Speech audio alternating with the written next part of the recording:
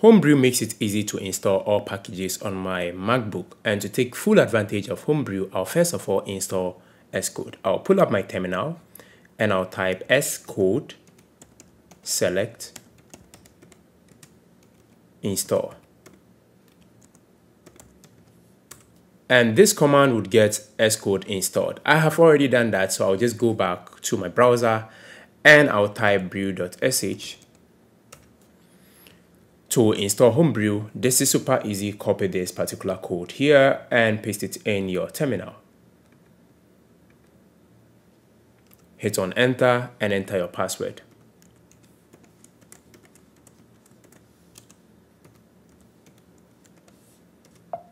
And it will ask me if I want to continue. I should press enter. I would hit enter again. And this will download Homebrew to my machine.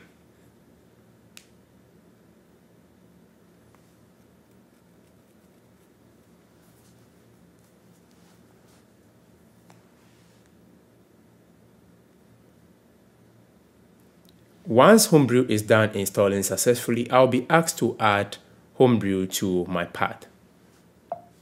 Okay, and you can see if you read here that everything is done, but then there's next steps here for you. It says that run this command in your terminal to add Homebrew to your path. So I'll copy this particular command, which is right here. So let's copy this command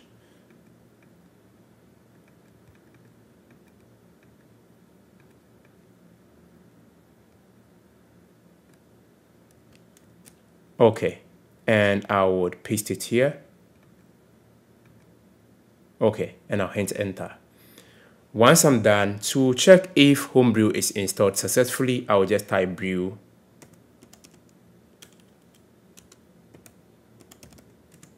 update. And you can see that it's trying to update Homebrew, which means I've been able to install Homebrew successfully.